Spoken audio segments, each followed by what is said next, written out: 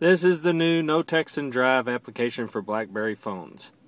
We're going to show a quick demonstration of how the app works, how it syncs with the internal GPS inside the phone, and how it operates in the background without expanding battery life or jeopardizing the phone while in use. Push the app, as you can see, it comes up with a data screen.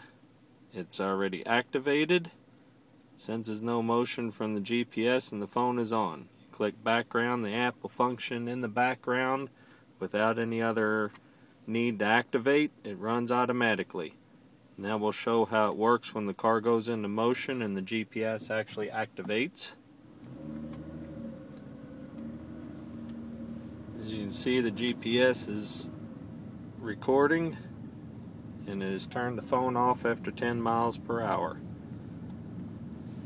The app runs in the background continuously, and as you're driving, you'll receive no signal to the phone, and it disables the phone and the texting. And after you stop or go less than 10 miles an hour,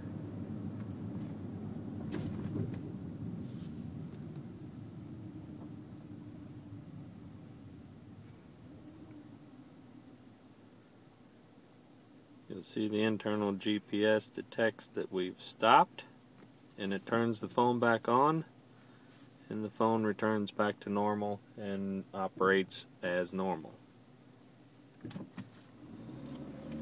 And that's a simple no text and drive application for BlackBerry.